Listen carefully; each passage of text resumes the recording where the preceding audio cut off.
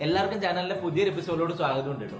അപ്പൊ നമ്മുടെ ഇന്നത്തെ എപ്പിസോഡ് എന്ന് പറയുമ്പോൾ നിങ്ങളൊരു ഗോവയ്ക്ക് പോകാൻ ഉദ്ദേശിക്കുന്ന ഒരാളാണെന്നുണ്ടെങ്കിൽ തീർച്ചയായിട്ടും യൂസ്ഫുൾ ആവുന്ന ഒരു എപ്പിസോഡ് ആയിരിക്കും ഇത്. കാരണം നമ്മൾ ഈ ഗോവയ്ക്ക് പോകുന്ന സമയത്ത് എന്തൊക്കെ കാര്യങ്ങളാണ് ശ്രദ്ധിക്കേണ്ടത്? അതുപോലെ തന്നെ പൊതുവെ എല്ലാവരും ഗോവയ്ക്ക് പോകുന്നവരുടെയൊക്കെ ഒരു സംശയം എന്ന് വെച്ചാൽ ഏകദേശം എത്ര രൂപ അവിടെ ചെലവാകുന്നതാണ് അതുപോലെ തന്നെ കുറെ പേരും വിചാരിച്ചിരിക്കുന്നത് കുറെ പൈസയൊക്കെ എടുത്തിട്ട് വേണം. എന്നാൽ മാത്രമേ അവിടെ അടിച്ചൊളിച്ചിട്ട് വരാൻ പറ്റുള്ളൂ എന്നാണ് അങ്ങനെയൊന്നുമില്ല കേട്ടോ. നമുക്ക് അത്യാവശ്യം ചെറിയൊരു തോതിൽ പൈസ എടുത്ത് വെച്ച ഒരു ആറായിരം ഏഴായിരം രൂപയൊക്കെ കയ്യിലുണ്ടെങ്കിൽ കൂടെ അത്യാവശ്യം നമുക്ക് കണ്ട് അടിച്ചൊളിച്ചിട്ടൊക്കെ വരാവുന്ന ടൈപ്പിലുള്ള ഒരു സ്ഥലമാണ് ഗോവ എന്ന് പറയുന്നത്.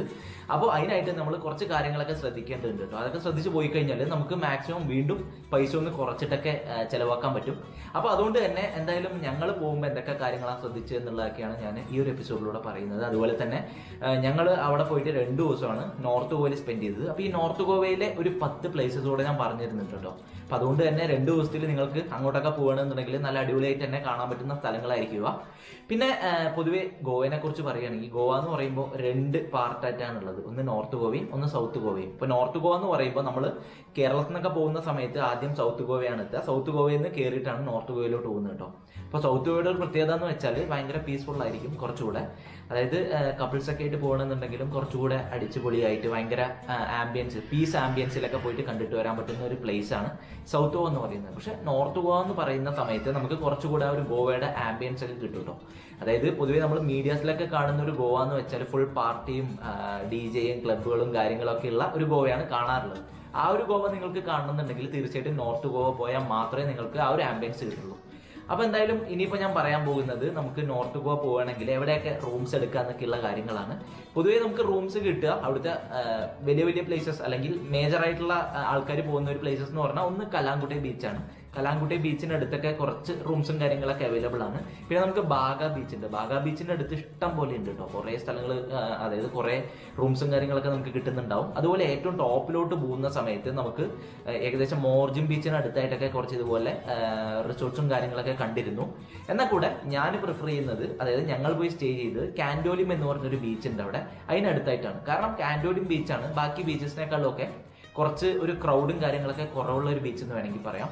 അതുകൊണ്ട് തന്നെ നമുക്ക് അവിടെ റൂംസ് ചെക്ക് ചെയ്യുന്ന സമയത്ത് ഭയങ്കര കുറവായിട്ടാണ് റൂംസ് കിട്ടിയത് കേട്ടോ. റൂംസ് എന്ന് പറയുമ്പോൾ നമുക്ക് ഇപ്പോൾ റിസോർട്ടോ കാര്യങ്ങളോ കോട്ടേജസോ മാത്രമല്ല അല്ലാതെ നമുക്ക് ഹോം സ്റ്റേസ് ഒക്കെ അവിടെ അവൈലബിൾ ആണ്. ഇപ്പോൾ air B N B check ചെയ്യണമെന്നുണ്ടെങ്കിൽ നിങ്ങൾക്ക് അതിൽ കുറേ ഹോം സ്റ്റേസ് ഒക്കെ കിട്ടും അതുപോലെ തന്നെ ഞാൻ വേറൊരു ചേട്ടന്റെ നമ്പർ കൂടെ താഴെ കൊടുത്തേക്കാം.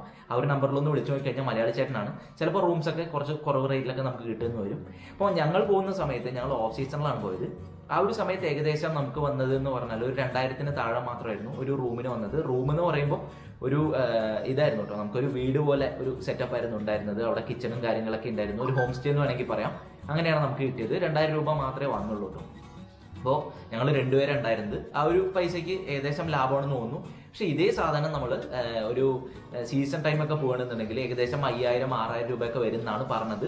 അപ്പോൾ അതുകൊണ്ട് തന്നെ നിങ്ങൾ ബാക്കിയുള്ളവിടേക്ക് എടുക്കുന്നതിന് മുമ്പ് ഈ കാൻഡോലിമിൽ കൂടെ ഒന്ന് ചെക്ക് ചെയ്യുക. കാൻഡോലിമിൽ പൊതുവെ ഒരു ക്രൗഡും കാര്യങ്ങളൊക്കെ കുറവായതുകൊണ്ടാണെന്ന് തോന്നുന്നു. റൂംസിനൊക്കെ കുറച്ച് വില കമ്മിയായിട്ട് കാണുന്നുണ്ട്. പിന്നെ കാൻഡോലിം എടുക്കുമ്പോൾ ഒരു മറ്റൊരു കാര്യം എന്ന് വെച്ചാൽ ഏകദേശം ഒക്കെ ഒരു മിഡിലായിട്ടാണ് ഈ ഒരു കാൻഡോലിം വരുന്നത് കേട്ടോ. അപ്പോൾ നിങ്ങൾക്ക് ബാക്കി പ്ലേസസിലോട്ടൊക്കെ പോകുമ്പോൾ കാൻഡോലിമിൽ എടുക്കുന്നതായിരിക്കും കുറച്ചുകൂടെ നല്ലതെന്ന് തോന്നുന്നു. ഞങ്ങൾ അതൊക്കെ കണ്ടിട്ടാണ് ഈ ഒരു കാൻഡോലിം ബീച്ചിന് അടുത്തായിട്ട് നമ്മുടെ റൂം എടുത്തത്. ഓക്കെ അപ്പോൾ ഇനിയിപ്പോൾ അടുത്ത് പറയാൻ പോകുന്നത് പ്ലേസസിനെ കുറിച്ചാണ് കേട്ടോ. അപ്പോൾ പ്ലേസസ് എന്ന് പറയുമ്പോൾ നമുക്ക് ഏകദേശം പത്ത് പ്ലേസസ് ഞാനിപ്പോൾ ഇവിടെ സോർട്ട് ചെയ്ത് വെച്ചിട്ടുണ്ട്. അതിൽ ഫസ്റ്റ് വരുന്ന പ്ലേസ് എന്ന് വെച്ചാൽ കലാങ്കുട്ടെ കേട്ടോ. കലാങ്കുട്ടെ ബീച്ചാണ് ഫസ്റ്റ് നമുക്ക് പോവാവുന്ന ഒരു ബീച്ച് അപ്പോൾ നിങ്ങൾ ഫസ്റ്റ് ദിവസം തന്നെ അങ്ങോട്ട് പോയി ഫസ്റ്റ് ദിവസം പോവാവുന്ന അല്ലെങ്കിൽ ഫസ്റ്റ് പോവാവുന്നത് ഈ കലാങ്കുട്ടി ബീച്ചിലോട്ടാണ് ഇപ്പൊ കലാങ്കുട്ടി ബീച്ച് എന്ന് പറയുമ്പോൾ കമ്പാരിറ്റീവ്ലി ഒരു ചെറിയ ബീച്ചൊക്കെയാണ് ഇപ്പോൾ ഒരു കാൻഡോലിമും കലാങ്കുട്ടിയൊക്കെ നോക്കുമ്പോൾ ഓൾമോസ്റ്റ് സെയിം ആണെന്ന് തോന്നുന്നു. ആ ഒരു ടൈപ്പിലുള്ള ഒരു ബീച്ചാണ് കലാങ്കുട്ടി ബീച്ച് എന്ന് പറയുന്നത്. അതിനുശേഷം നിങ്ങൾക്ക് കലാങ്കുട്ടെ ബീച്ചിന് അടുത്തായിട്ട് തന്നെ കലാങ്കുട്ടെ മാർക്കറ്റ് കൂടെ കിട്ടും കേട്ടോ അപ്പോൾ നിങ്ങൾ ഫസ്റ്റ് ഡേ ആണ് അങ്ങോട്ട് പോകുന്നതെന്നുണ്ടെങ്കിൽ നിങ്ങൾക്ക് അവിടുന്ന് ഡ്രസ്സുകളോ അല്ലെങ്കിൽ വേറെ സോവനിയേഴ്സോ കാര്യങ്ങളോ ഒക്കെ പർച്ചേസ് ചെയ്യണമെന്നുണ്ടെങ്കിൽ അതായത് ചീപ്പ് റേറ്റിന് പർച്ചേസ് ചെയ്യണമെന്നുണ്ടെങ്കിൽ എനിക്ക് തോന്നുന്നു കലാങ്കുട്ടെ മാർക്കറ്റാണ് ഏറ്റവും ബെസ്റ്റ് മാർക്കറ്റ് എന്ന് തോന്നുന്നു.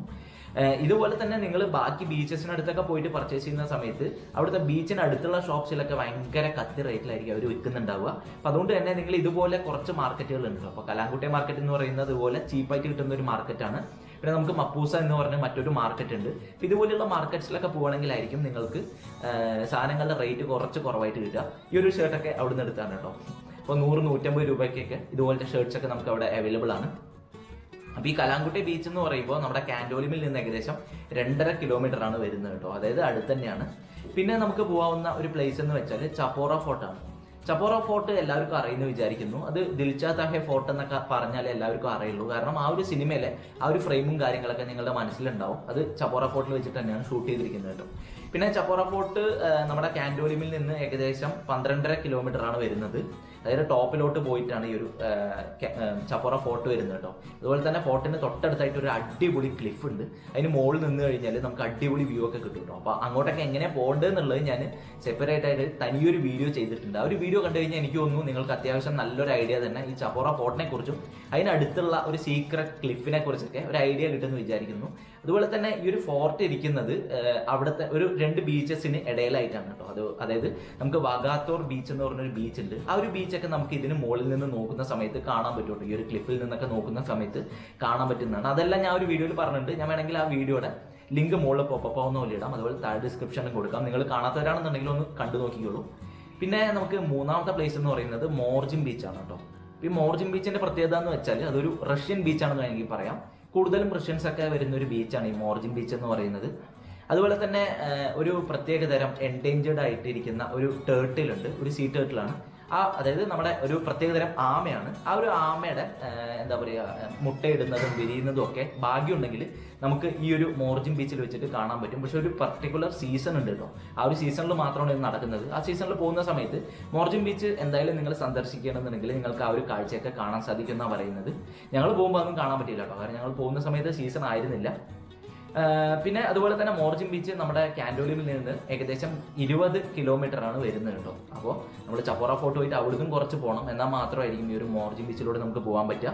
പിന്നെ മോർജിൻ ബീച്ചിനെ കുറിച്ച് പറയുമ്പോൾ വേറൊരു കാര്യം കൂടെ എക്സ്ട്രാ നിങ്ങൾക്ക് പറഞ്ഞായിരുന്നു തോന്നി. ഈ മോർജിൻ ബീച്ചിന് അടുത്തായി തന്നെ നമുക്ക് ഹോട്ടൽ സത്പുരുഷ് എന്ന് പറഞ്ഞൊരു ഹോട്ടൽ ഉണ്ട്. അവിടെ പോയി കഴിഞ്ഞാൽ നിങ്ങൾക്ക് നല്ല അടിപൊളി ഗോൻ ഫിഷ് താലി കിട്ടുന്നതാണ് കേട്ടോ. നൂറ്റമ്പത് രൂപ മാത്രമാണ് ഈ ഒരു ഫിഷ് താലിക്ക് വരുന്നത്. ഒരു പ്ലേറ്റിൽ അത്യാവശ്യം സാധനങ്ങളൊക്കെ ഉണ്ടാവും കേട്ടോ. പിന്നെ അവരുടെ ഒരു പ്രത്യേക തരം ഫിഷ് ഫ്രൈയും കാര്യങ്ങളൊക്കെ ആയിട്ടാണ് നമുക്ക് ഒരു മീൽ വരുന്നത്. എന്തായാലും ട്രൈ ചെയ്യേണ്ട ഒരു സാധനം തന്നെയാണ്.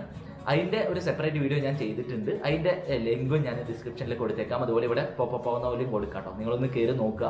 നല്ല അടിപൊളി ഫുഡ് തന്നെയാണ്. അതുപോലെ തന്നെ ഹോട്ടലും കിടിലനാണ്. നല്ല ക്വാളിറ്റി ഫുഡ് തന്നെയാണ് അവിടെ ഒരു പ്രൊവൈഡ് ചെയ്യുന്നത് കേട്ടോ. പിന്നെ നമുക്ക് വരുന്നത് വാഗാത്തോർ ബീച്ചാണ് വാഗാത്തോർ ബീച്ച് എന്ന് പറയുമ്പോൾ പൊതുവേ ഞാൻ പറഞ്ഞല്ലോ നമ്മുടെ ചപ്പോറ ഫോർട്ടിന്റെ ഒക്കെ ഏകദേശം അടുത്തായിട്ടാണ് ഒരു വാഗാത്തോർ വരുന്നത്. അപ്പോൾ നിങ്ങൾക്ക് വേണമെങ്കിൽ ചപ്പോറ പോയിട്ട് അവിടുന്ന് നേരെ വാഗാത്തോർ പിടിക്കണമെങ്കിലും കുഴപ്പമൊന്നുമില്ല. അപ്പോൾ വാഗാത്തോർ ബീച്ചിന്റെ ഒരു പ്രത്യേകത എന്ന് പറഞ്ഞാലും അത് ഈ ഒരു ക്ലിഫിന് മുകളിൽ അത്യാവശ്യം ക്ലിഫും കാര്യങ്ങളൊക്കെ ഉണ്ട് ഈ ഒരു ഭാഗത്തൊക്കെ ആയിട്ട്. അതുകൊണ്ട് തന്നെ ക്ലിഫിന് മുകളിൽ നിന്ന് വാഗാത്തോർ ബീച്ചൊക്കെ നോക്കുമ്പോൾ ഒരു പ്രത്യേക ഭംഗിയാണ്. നല്ല അടിപൊളി ബീച്ച് തന്നെയാണ് വാഗാത്തോർ എന്ന് പറയുന്നതും. അത്യാവശ്യം നല്ല തിരക്കും കാര്യങ്ങളൊക്കെ നിങ്ങൾക്ക് അവിടെയും കാണാൻ പറ്റും പിന്നെ നിങ്ങൾക്ക് പോകാവുന്ന ഒരു ബീച്ച് അഞ്ചാമത്തെ ഒരു ബീച്ചാണ് അതിന്റെ പേര് ഒസ്റാൻ ബീച്ച് എന്നാണ് കേട്ടോ. അപ്പൊ ഈ ഒരു ബീച്ചിനെ കുറിച്ച് ഒരുപാട് നമ്മൾ ആർട്ടിക്കിളോ കാര്യങ്ങളോ ഒന്നും തന്നെ വായിക്കാൻ പറ്റിയില്ല. പക്ഷെ ഞങ്ങൾ അവിടെ പോയിട്ട് കുറെ സെർച്ച് ചെയ്ത് കണ്ടുപിടിച്ച ഒരു ബീച്ചാണ് ഈ ഒസ്റാൻ ബീച്ച് എന്ന് പറയുന്നത്. അതൊരു ന്യൂഡ് ബീച്ച് ആയിട്ടാണ് അറിയപ്പെടുന്നത് കേട്ടോ. അതുപോലെ തന്നെ ഇഷ്ടം പോലെ ഫോറിനേഴ്സ് ഒക്കെ വന്ന് വരുന്ന ഒരു ബീച്ചാണ് ഈ ഒസ്റാൻ ബീച്ച് എന്ന് പറയുന്നത്. പിന്നെ ഈ ഒരു ബീച്ചിന്റെ പ്രത്യേകത എന്ന് വെച്ചാൽ ഒരു അടിപൊളി കഫേ ഉണ്ട് കേട്ടോ ആ ഒരു കഫേയിൽ എന്തായാലും നിങ്ങൾ പോകേണ്ടതാണ്. ആ ഒരു കഫേയുടെ പേര് ഞാൻ താഴെ ഇപ്പോൾ കൊടുത്തേക്കാം. ഞാൻ എനിക്കൊന്ന് നോക്കണം കറക്റ്റ് ആയിട്ട് ഏതാണ് ആ കഫേയുടെ പേര് എന്നുള്ളത് നമുക്ക് കറക്റ്റ് ആയിട്ട് ഓർമ്മയില്ല. അത് കറക്റ്റ് ഈ ഒരു സീ നമ്മുടെ കടലിന്റെ ഒക്കെ ഉള്ളിലോട്ടായിട്ട് ഈ ബീച്ചിന്റെ ഉള്ളിലോട്ടായിട്ടാണ് ഈ ഒരു കഫേ വരുന്നത്. നല്ല അടിപൊളി ഫുഡ് കിട്ടും. അവിടെ അതുപോലെ ആംബിയൻസ് കിട്ടുവാണ് നല്ല ഡി ജെയും കാര്യങ്ങളൊക്കെ ഉണ്ടാവും. അതുപോലെ തന്നെ ഡ്രിങ്ക്സും കാര്യങ്ങളും എല്ലാം കിട്ടുന്ന ഒരു കഫേയാണ് ഈ ഒരു ഓസ്റാൻ ബീച്ചിൽ നമുക്ക് കാണാൻ സാധിക്കും കേട്ടോ. അവിടെയും എന്തായാലും പോകാൻ നോക്കുക അത് എന്ന് പറയുമ്പോൾ മിനി വാഗത്തോർ ബീച്ച് എന്നാണ് അറിയപ്പെടുന്നത്. അതായത് ഈ വാഗത്തോർ ബീച്ചിന്റെ തൊട്ടടുത്ത് തന്നെയാണ് വരുന്നത് കേട്ടോ. അപ്പൊ എനിക്ക് ഒന്ന് വാഗത്തോർ ബീച്ച് പോയി നിങ്ങൾ സ്പെൻഡ് ചെയ്യുന്നതിനേക്കാളും പറ്റുവാണെങ്കിൽ ഒസ്റാൻ കൂടെ ഒന്ന് പോയി നോക്കുക. ഒസ്റാനിൽ കിഡു ആംബിയൻസ് ആണ്. പിന്നെ നമുക്ക് വരുന്ന ഒരു ബീച്ച് എന്ന് പറഞ്ഞാൽ അതായത് ആറാമത്തെ ഞാൻ പറയുന്നത് അത് നമ്മൾ പോയത് നെക്സ്റ്റ് ഡേ ആണ് കേട്ടോ. അതായത് ഫസ്റ്റ് ഡേ നമ്മൾ ഒസ്റാം വരെയാണ് പോയത്. അഞ്ച് സ്ഥലങ്ങളാണ് മെയിൻ ആയിട്ട് കവർ ചെയ്ത്. അത് കഴിഞ്ഞ് ആറാമത്തെ നമ്മൾ പോകേണ്ടത് ഓൾഡ് ഗോവയിലോട്ടാണ് അപ്പൊ നിങ്ങൾ രാവിലെ നേരത്തെയൊക്കെ ഒന്ന് ഓൾഡ് ഗോവയിലോട്ട് പോവുകയാണെങ്കിൽ അത്രയും നല്ലതായിരിക്കും. ഒരു എട്ട് മണി ഒമ്പത് മണി ടൈമിലാണ് നമ്മൾ അങ്ങോട്ട് പോയത്. ഓൾഡ് ഗോവ എന്ന് പറയുമ്പോൾ കാൻഡോളിമിൽ നിന്ന് ഏകദേശം ഇരുപത്തിരണ്ട് കിലോമീറ്റർ ആണ് വരുന്നത് കേട്ടോ. അപ്പോൾ ഓൾഡ് ഗോവയിലോട്ട് പോയി കഴിഞ്ഞാൽ നിങ്ങൾക്ക് കാണാൻ പറ്റുന്നത് മെയിനായിട്ട് കുറേ ചേർച്ചസ് നമുക്ക് കാണാം. എല്ലാം തന്നെ ഏകദേശം പതിനാറാം നൂറ്റാണ്ടിലൊക്കെ ബിൽഡ് ചെയ്തിട്ടുള്ള പ്ലേസസ് എന്താ പറയുക കൺസ്ട്രക്ഷൻസും ബിൽഡിങ്സും കാര്യങ്ങളൊക്കെയാണ് അവിടെ കാണാൻ പറ്റുക. അതിൽ മെയിനായിട്ട് കുറച്ച് കാര്യങ്ങൾ എന്ന് പറഞ്ഞാൽ ബേസിലിക്കാസ് ഓഫ് ബോം ജീസസ് എന്ന് പറഞ്ഞൊരു ചേർച്ച് ഉണ്ട്. അവിടെ തീർച്ചയായിട്ടും പോയി കാണേണ്ടതാണ്. കാരണം അതിന്റെ ഒരു ആർക്കിടെക്ചറും കാര്യങ്ങളൊക്കെ കിഡുവാണ് കേട്ടോ. പിന്നെ നമുക്ക് എസ് സി കാത്തഡ്രൽ എന്ന് പറഞ്ഞൊരു കാത്തഡ്രൽ അവിടെ ഉണ്ട് അതും പോയി കാണാവുന്ന ഒരു സംഭവമാണ്. അതുപോലെ Catholic church of saint Francis Assisi എന്ന് പറഞ്ഞ ഒരു ചേർച്ച് ഒക്കെ ഉണ്ട്. ഇവിടെ കൂടുതലും ഇതുപോലെയുള്ള കെട്ടിടങ്ങളൊക്കെയാണ് കേട്ടോ ഉള്ളത്. അതായത് കൂടുതലും ഈ ഒരു എന്താ ചേർച്ചസ് കാര്യങ്ങളൊക്കെയാണ് ഉള്ളത്. നിങ്ങൾക്ക് താല്പര്യം ഉണ്ടെന്നുണ്ടെങ്കിൽ തീർച്ചയായിട്ടും പോയി കാണുക. എല്ലാം ആ ഒരു പഴമയുടെ ആ ഒരു ഇതൊക്കെ ഇപ്പോഴും അതുപോലെ തന്നെ നിലനിർത്തിയിട്ടാണ് അതെല്ലാം തന്നെ വെച്ചിരിക്കുന്നത്. പിന്നെ നമുക്ക് ഏഴാമതായിട്ട് പറയാനുള്ളത് അഗോഡ ഫോർട്ടാണ് കേട്ടോ. അഗോഡ എന്ന് പറയുമ്പോൾ അതൊരു ഫോർട്ടാണ്. അത് നമ്മുടെ കാൻഡോലിമിൽ നിന്ന് ഏകദേശം അഞ്ച് കിലോമീറ്റർ ആണ് വരുന്നത്. അതായത് അത് താഴോട്ടാണ്. കാൻഡോലിമിൽ നിന്ന് താഴോട്ടാണ് പോകേണ്ടത് നമ്മൾ ബാക്കി നോക്കിയ പ്ലേസസ് ഒക്കെ ഏകദേശം മുകളിലായിട്ടാണ് ഉള്ളത് കേട്ടോ. ഇതെന്ന് പറയുമ്പോൾ മാപ്പിന്റെ താഴെയായിട്ടാണ് വരുന്നത് ഈ അഗോഡ ഫോർട്ടൊക്കെ അപ്പോൾ അതിന്റെ ഒരു പ്രത്യേകത എന്ന് വെച്ചാൽ അതൊരു ബീച്ച് ഫോർട്ട് എന്നൊക്കെ വേണമെങ്കിൽ പറയാം. ചുറ്റും ബീച്ചും കാര്യങ്ങളൊക്കെയാണ്. അതിന്റെ നടുക്കാണ് ഈ ഒരു ഫോർട്ട് വരുന്നത്. നമുക്കൊരു പവർ ഹൗസും കാര്യങ്ങളൊക്കെ അവിടെ തന്നെ കാണാൻ പറ്റും കേട്ടോ. ലൈറ്റ് ഹൗസും കാര്യങ്ങളൊക്കെ കാണാം. സോറി അങ്ങനെ ഒരു അടിപൊളി ഫോർട്ടാണ് ഈ അഗോഡ ഫോർട്ട് എന്ന് പറയുന്നത്. പിന്നെ അതിന്റെ തൊട്ടടുത്ത് തന്നെ ആയിട്ട് നമുക്ക് സിംഗുരിം എന്ന് പറഞ്ഞൊരു ബീച്ച് കൂടി ഉണ്ട് കേട്ടോ. ഈ ബീച്ച് എന്ന് പറയുമ്പോൾ നമ്മുടെ ബീച്ചിൽ നിന്ന് നോക്കുന്ന സമയത്ത് ഈ ഫോട്ടോയും കാര്യങ്ങളൊക്കെ കാണാം. നല്ല അടിപൊളി ഒരു വ്യൂവും കാര്യങ്ങളൊക്കെയാണ് അവിടെ കിട്ടുക. അതുപോലെ തന്നെ ഫോട്ടോഗ്രാഫേഴ്സ് ഒക്കെ ഉണ്ടെങ്കിൽ ഇഷ്ടംമാതിരി നല്ല ഫോട്ടോസ് ഒക്കെ കിട്ടുന്ന ഒരു പ്ലേസ് ആണ് ഈ സിംഗുരിം ബീച്ച് എന്ന് പറയുന്നത്. നിങ്ങൾ സൺറൈസ് അല്ലെങ്കിൽ സൺസെറ്റ് ഒക്കെ പിടിക്കാനായിട്ട് അങ്ങോട്ട് പോകണമെങ്കിൽ എനിക്ക് തോന്നുന്നു കുറച്ചുകൂടി അടിപൊളി ഫോട്ടോസ് ഒക്കെ കിട്ടുന്ന ഒരു പ്ലേസ് ആണ് കേട്ടോ ഇത്. അപ്പൊ ഇതെല്ലാം അടുത്താണ് കേട്ടോ. അഗോഡ ഫോർട്ടും സിംഗുരും ബീച്ചും അടുത്തടുത്തായിട്ട് തന്നെയാണ് വരുന്നത്. പിന്നെ എനിക്ക് പറയാനുള്ളത് ബാഗ ബീച്ചാണ് ബാഗ ബീച്ച് എല്ലാവരും കേട്ടിട്ടുണ്ടാവും. അഞ്ജുന ബീച്ച് ബാഗ ബീച്ച് എന്നൊക്കെ പറഞ്ഞിട്ട്. ഇതെല്ലാം ഏകദേശം അടുത്താണ് കേട്ടോ. അഞ്ജുനയുടെ അടുത്ത് തന്നെയായിട്ട് ബാഗ ബീച്ച് വരുന്നത്. പക്ഷെ എന്നോട് ചോദിക്കുകയാണെങ്കിൽ ബാഗയിലോട്ട് പോകുന്നതായിരിക്കും കുറച്ചുകൂടെ നല്ലതെന്ന് തോന്നുന്നു അഞ്ജുനേനെക്കാളും. കാരണം ബാഗ ബീച്ച് എന്ന് പറയുമ്പോൾ അത്യാവശ്യം വലിയ ഷോറും കാര്യങ്ങളൊക്കെയാണ്. കടൽ തീരമൊക്കെ ഭയങ്കര വലുതാണ്. അതുപോലെ കുറേ ഷാക്സും കാര്യങ്ങളൊക്കെ നമുക്ക് അവിടെ കാണാം. അതുപോലെ തന്നെ അത്യാവശ്യം ചെറിയ റെസ്റ്റോറന്റുകളും കാര്യങ്ങളൊക്കെ കാണാവുന്ന ഒരു പ്ലേസ് ആണ് ഈ ബാഗ ബീച്ച് എന്ന് പറയുന്നത് കേട്ടോ. അപ്പോൾ ബാഗ ബീച്ചിലോട്ട് ഏകദേശം അഞ്ചര കിലോമീറ്റർ ആണ് കാൻഡോലിമിൽ നിന്ന് വരുന്നത്. പിന്നെ എനിക്ക് ലാസ്റ്റ് ആയിട്ട് പത്താമത്തെ പറയാനുള്ളത് ടിറ്റോസ് ലൈൻ എന്ന് പറഞ്ഞ ഒരു ലൈൻ ഉണ്ട്. അത് വരുന്നതും ഈ ബാഗ ബീച്ചിലോട്ട് പോകുന്ന അതേ ലൈൻ തന്നെയാണ്. ടിറ്റോസ് ലൈൻ എന്ന് പറഞ്ഞ ഈ ഒരു ലൈൻ വരുന്നത് കേട്ടോ. അപ്പൊ അതിന്റെ പ്രത്യേകത എന്ന് വെച്ചാൽ ടിറ്റോസ് ലൈനിലായിട്ട് നിങ്ങൾക്ക് ഇഷ്ടം പോലെ പബ്ബുകൾ അതുപോലെ റെസ്റ്റോറന്റ്സ് ഡ്രിങ്ക്സ് കിട്ടുന്ന കടകൾ ഒക്കെ തന്നെ കാണാൻ പറ്റും. നല്ല അടിപൊളി ഒരു ലൈൻ തന്നെയാണ്. അതുപോലെ ഫുഡൊക്കെ നല്ല ക്വാളിറ്റി ഫുഡാണ് അവിടെ കിട്ടുന്നത് കേട്ടോ. അതായത് നിങ്ങൾ വേറെ ചില സ്ഥലത്തൊക്കെ ഗോവയുടെ പോയി നോക്കുകയാണെങ്കിൽ ചിലപ്പോൾ തല്ലിപ്പൊളി ഫുഡൊക്കെ കിട്ടാനുള്ള ചാൻസസ് ഉണ്ട്. അവർ എന്താ പറയുക മീൻസ് ഗോവൻ ക്യുസീൻ ആണെന്നൊക്കെ പറഞ്ഞിട്ട് തരുന്ന വല്ല തല്ലിപ്പൊളി സാധനമൊക്കെ ആയിരിക്കും. പക്ഷെ ഇവിടെ ഈ ടിറ്റോസ് ലൈനിൽ ഞങ്ങൾ കണ്ടതൊക്കെ അത്യാവശ്യം നല്ല കടകളായിരുന്നു നല്ല ഫുഡൊക്കെ ആയിരുന്നു അവിടെ ഉണ്ടായിരുന്നു കേട്ടോ. ടിറ്റോസ് ലൈൻ എനിക്കൊന്ന് നിങ്ങൾ മറക്കാതെ തന്നെ പോയി ട്രൈ ചെയ്യേണ്ട കുറേ കടകളൊക്കെ അവിടെ തന്നെ ഉണ്ട്. പിന്നെ ഇതല്ലാതെ അഡീഷണൽ ആയിട്ട് കുറച്ച് കാര്യങ്ങളും കൂടെ നിങ്ങൾക്ക് പറഞ്ഞു തരാമെന്ന് വെച്ചു. അതായത് നിങ്ങൾ ഇനിയിപ്പോൾ ഞാൻ നേരത്തെ പറഞ്ഞ പോലെ കാൻഡോലിമിൽ പോയിട്ട് ആ റൂം എടുക്കണമെന്നുണ്ടെങ്കിൽ അവിടെയും നിങ്ങൾക്ക് ഈ പറഞ്ഞ പോലെ നൈറ്റ് ലൈഫും കാര്യങ്ങളൊക്കെ കിട്ടുന്നുണ്ടാവും കേട്ടോ. ബാഗ ബീച്ചിലെ നൈറ്റ് ലൈഫ് കിഡുമാണ് എക്സെപ്ഷനൽ ആണ്. എന്തായാലും പോയി നോക്കേണ്ടതാണ്. അതല്ലാതെ നിങ്ങൾ ഇനി ഈ ഒരു കാൻഡോലിമിലാണ് റൂം എടുക്കണമെന്നുണ്ടെങ്കിൽ തീർച്ചയായിട്ടും അവിടുത്തെ നൈറ്റ് ലൈഫ് കൂടെ ഒന്ന് കാണുക കാരണം കാൻഡോലിമിലും ഒരു ബീച്ച് നിങ്ങൾക്ക് കാണാൻ പറ്റും. ആ ബീച്ചിന്റെ ബീച്ചിലോട്ട് പോകുന്ന വഴിയിലൊക്കെ ഇഷ്ടം പോലെ നമുക്ക് കഫേസ് അതുപോലെ പബ്ബും കാര്യങ്ങളൊക്കെ അവിടെയും നമുക്ക് കാണാൻ പറ്റുള്ളൂ അതിൽ എനിക്ക് സജസ്റ്റ് ചെയ്യാൻ തോന്നുന്ന ഒരു റെസ്റ്റോറന്റ് എന്ന് പറഞ്ഞാൽ ഫിഷർമാൻസ് ക്ലോ എന്ന് പറഞ്ഞ ഒരു റെസ്റ്റോറന്റ് അവിടെ കാണാൻ പറ്റും കേട്ടോ അത് വരുന്നതെന്ന് പറഞ്ഞാൽ നമ്മുടെ ഏകദേശം ബീച്ചിലോട്ട് പോകുന്നതിന് ലെഫ്റ്റ് സൈഡായിട്ട് നമ്മൾ കുറച്ച് മുന്നിലോട്ട് പോവുകയാണെങ്കിൽ അവിടെ ഒരു അടിപൊളി റെസ്റ്റോറന്റ് ആണ് ഈ ഫിഷർമാൻസ് ക്ലോ എന്ന് പറയുന്നത്. നല്ല ഫുഡാണ് ക്വാളിറ്റി ഫുഡാണ് പക്ഷേ ഡീസെന്റ് റേറ്റിലാണ് അവിടെ നമുക്ക് എല്ലാ സാധനങ്ങൾക്കും വില വരുന്നത് കേട്ടോ. അതുപോലെ തന്നെ അവിടെ നിങ്ങൾക്ക് വേണമെങ്കിൽ ഡ്രിങ്ക്സും എല്ലാം തന്നെ അവൈലബിൾ ആണ്. അവിടെ തന്നെ ഇരുന്ന് ഡ്രിങ്ക്സ് കഴിക്കാം. അതുപോലെ ഫുഡും കാര്യങ്ങളൊക്കെ നമ്മൾ ഓർഡർ ചെയ്യുന്ന സമയത്ത് വന്നുകൊണ്ടേയിരിക്കും കേട്ടോ. അപ്പോൾ എന്തായാലും ഇത്രയൊക്കെ കാര്യങ്ങളാണ് എനിക്ക് ഒരു ഗോവനെ കുറിച്ച് അല്ലെങ്കിൽ നോർത്ത് ഗോവനെ കുറിച്ച് നിങ്ങൾക്ക് പറഞ്ഞു തരാനുള്ളത് സൗത്ത് ഗോവനെ കുറിച്ച് അധികം ഒന്നും എനിക്ക് പറയാനില്ല. കാരണം ഞങ്ങൾ സൗത്ത് ഗോവയ്ക്ക് പോയത് വരുന്ന സമയത്ത് ജസ്റ്റ് ഒന്ന് കയറിയിട്ട് പോയതാണ്. അവിടെ കുറെ ബീച്ചസ് ഒക്കെ ഉണ്ടെങ്കിലും ഞാൻ നേരത്തെ പറഞ്ഞ പോലെ ആംബിയൻസ് ആ ഒരു ഗോവയുടെ ആ ഒരു പാർട്ടി മൂടൊക്കെ കിട്ടണമെന്നുണ്ടെങ്കിൽ നമ്മൾ നോർത്ത് ഗോവനെ പോയി കാണേണ്ടതുണ്ട്. എന്തായാലും ഇത്രയൊക്കെ കാര്യങ്ങളാണ് എനിക്ക് ഗോവനെ കുറിച്ച് പറയാനുള്ളത്. നിങ്ങൾക്ക് ഇനി എന്തെങ്കിലും ഡൗട്ടോ കാര്യങ്ങളോ ഒക്കെ ഉണ്ടെങ്കിൽ തീർച്ചയായിട്ടും നമ്മുടെ കമന്റ് ബോക്സിൽ ഒന്ന് രേഖപ്പെടുത്താം. ഞാൻ മാക്സിമം കമന്റ്സ് ഒക്കെ വായിക്കാറുള്ളതാണ് കേട്ടോ അപ്പൊ അതിന്റെയൊക്കെ ഉത്തരങ്ങളും കാര്യങ്ങളൊക്കെ ഞാൻ പറഞ്ഞുതരാൻ നോക്കാം.